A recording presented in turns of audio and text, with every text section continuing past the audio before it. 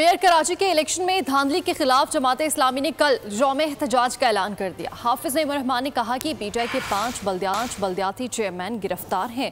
रात की तारीकी में मजीद दो चेयरमैन को लापता कर दिया गया। जिसने वोट डालना है, उसे ही उठा लिया जाए तो फिर मेयर का इलेक्शन कैसे होगा? पीपल्स पार्टी जमहूरियत के नारे लगाती है, लेकिन काम आमराना है। इकहत्तर में भी मुल्क तोड़ दिया। मैंडेट तस्लीम नहीं किया। कल पुरम एहतजाज और शार कायदीन पर तहफ़ कराची मार्च किया जाएगा।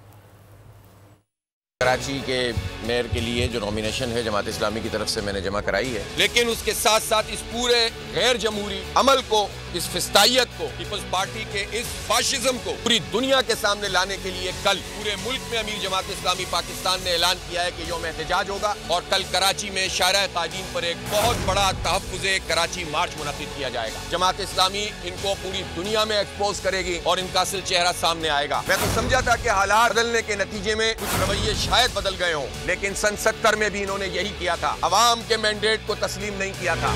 अदलो इंसाफ की बात सब करते हैं पर हकीकत में सच के साथ निडर होकर खड़े रहने की ज़रूरत नज़र नहीं आती।